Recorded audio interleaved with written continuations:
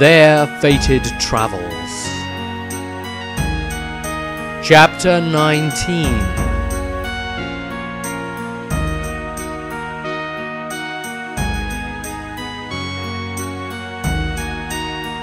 Black Rot.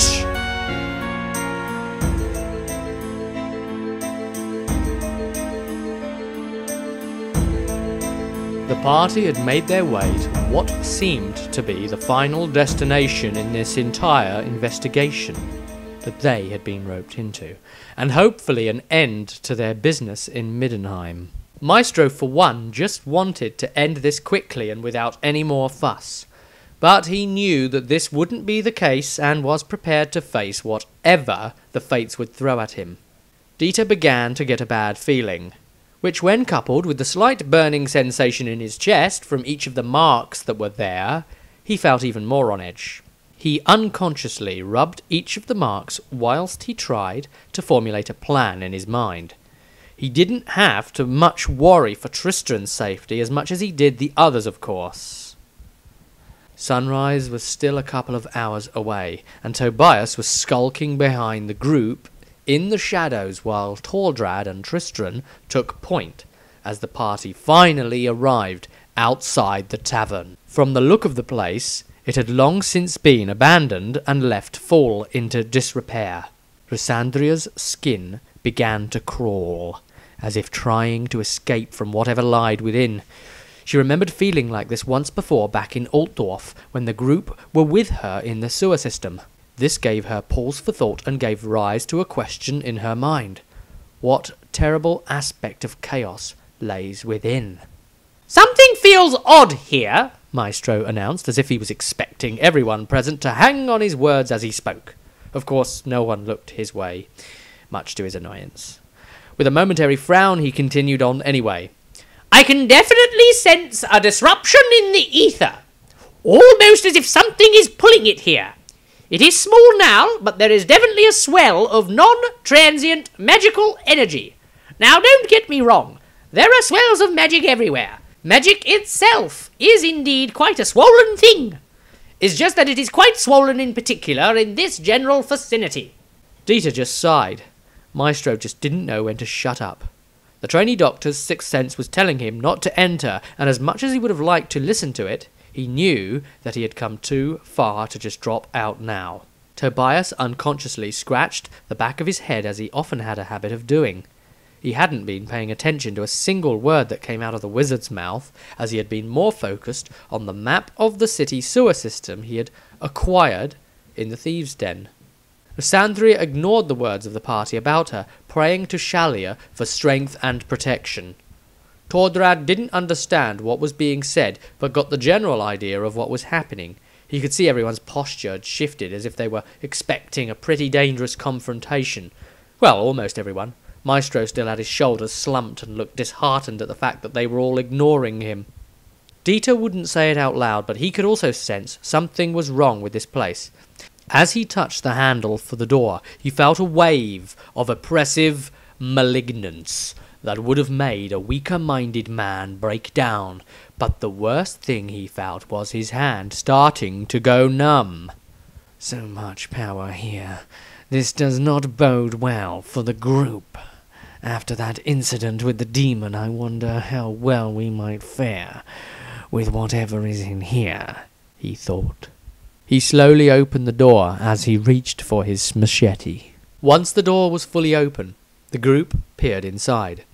The common room was completely empty, and several of the tables and chairs were rotten and ridden with termites. This particular stench of death and decay was extremely potent and familiar to them, and they didn't need Maestro's witch sight to tell them that the Plague Lord was at work here, which of course he did anyway. As the party made their way to the cellar, Rosandria held her arms against herself, eyes closed in concentration, as she mentally fought off the feeling of corruption seeping into her very being. Just like last time, being in the vicinity of such pure evil hurt her body. This only served to mentally embolden her further onto her path of faith. The cellar was just as bad as the common room in appearance, and even the metal hinges on the door at the opposite end to where they entered was rusted away and looked like it would fall over at the slightest touch. There were sounds coming from the other side of the door excited whispers, deep animalistic growls, and various other ominous noises that set Maestro's hair on end. Tordrad furrowed his eyebrows as he moved forward and reached to push the door open.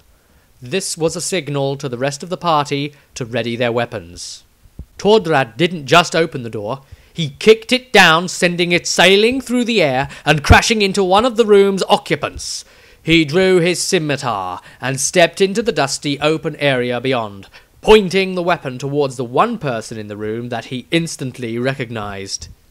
He remembered the stench of corruption that flowed through this place. The decayed form of Blackrot stood atop a dais, his thick leathery skin almost seeming to shine in the dim torchlight. Next to him was an equally blessed Chaos Sorcerer, and surrounding them were no less than fifty chaotic beasts, ranging from Skaven to various sized beastmen and mutants. The room looked like it was recently hewn by pickaxes, which was further proven by the various dwarf corpses littered around the room. They had dug their way in previously to try and influence the final battle of Middenheim, or perhaps to take advantage of the city's weakened state and destroy it slowly through the corruption of the Plague Lord. The beastmen present were jaded under the influence of Grandfather Nurgle, physically showing signs of their benefactor's gifts. The Skaven present were not particularly within the influence of Nurgle. They were not those of Clan Pestilence, for example.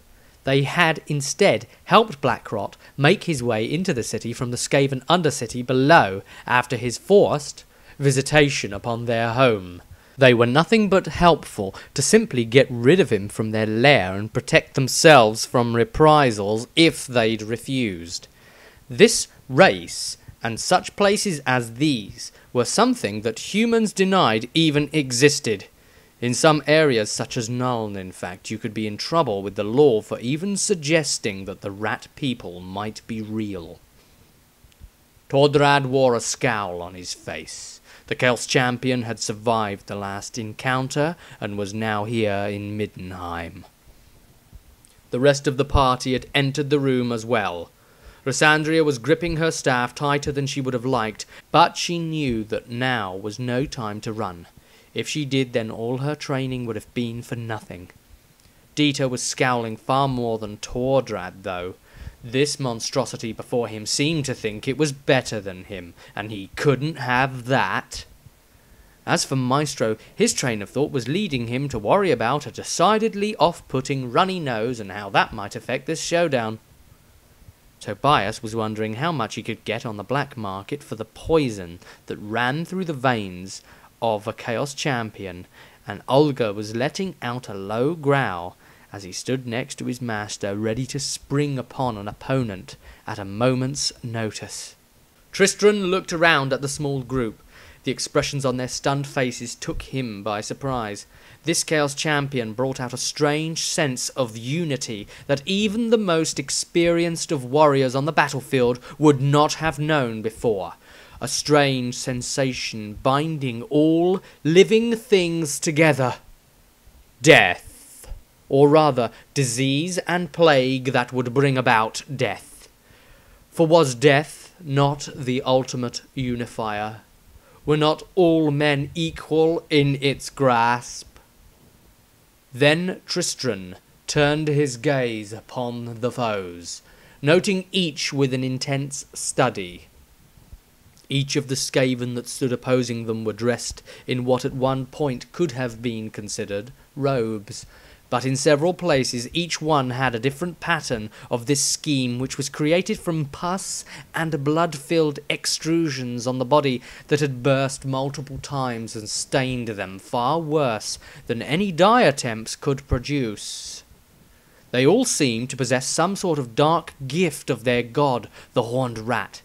These unfortunates had spent too long in the plague champion's company.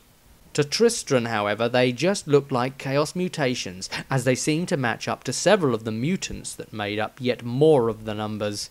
diseased and plague ridden men and women shambling along like some cruel parody of zombies, but with the misfortune of still being alive, feeling every moment of their situation.